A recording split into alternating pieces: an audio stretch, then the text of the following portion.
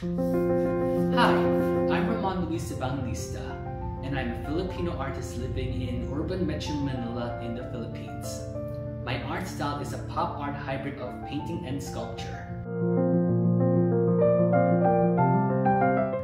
I studied AB animation in the College of St. Benilde and I've been painting for four years.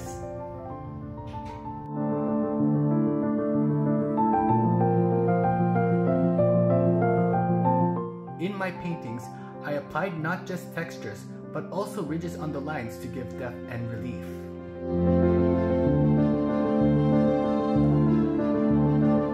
The ridges and relief give the painting a tactile component